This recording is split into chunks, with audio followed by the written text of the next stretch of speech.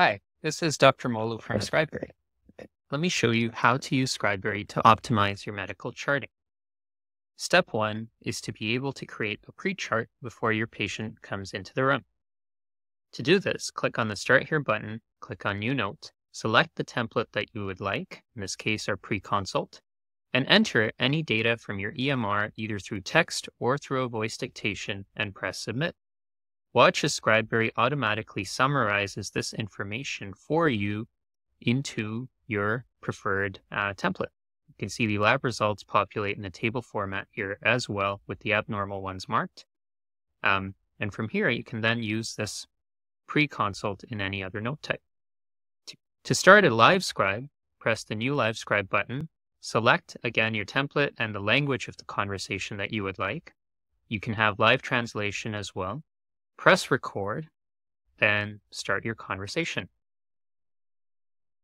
Good morning, John. How are you doing today? I'm doing fine, thanks. So, John, what can I do to help you? Well, I've been having some swelling in my wrist. Is it both of your wrists? Once your conversation is complete, you can paste in extra detail uh, into the box and press submit. The note will be produced taking into account all the context you gave it, including the additional information that you provided and the initial conversation. From here, you can then make further commands to make edits if needed. Here I've asked Scribeberry to fix the chief complaint list so that it's numbered, and I've also asked it to change the date at the end to 2024.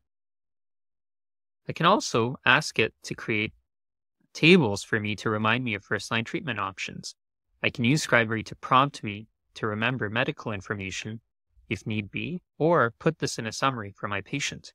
Here's an example of myself creating uh, a table for first line treatment options for psoriatic arthritis with the benefits and risks mentioned as well. I can also create a patient handout for my patient in English or in French.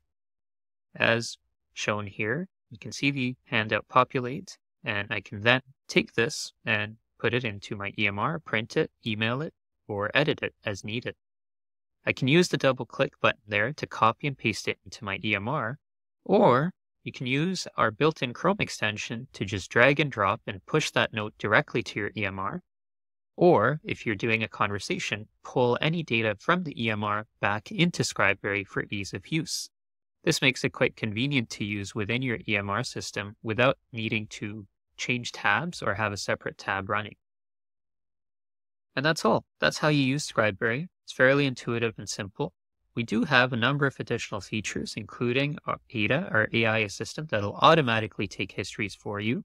You can also use Scribeberry for dictation and transcription, and you can create custom templates to your liking with your own headings, macros, styles, language instructions, and more. Scribeberry is meant to be extremely customizable and flexible no matter what the doctor's use case is. And for this reason, it's a really good tool for specialists, subspecialists, um, and any procedure-based specialties as well to be able to pre-chart, chart, you know, do the patient visit and get your data out after the fact, before the fact, uh, and optimize your workflow throughout. Here you can see Ada take a history for you and bring you that pre-chart before you ever see the patient or before they even come in. This allows clinics or individual physicians to pre triage their patients and to have optimized workflows for their clinic day.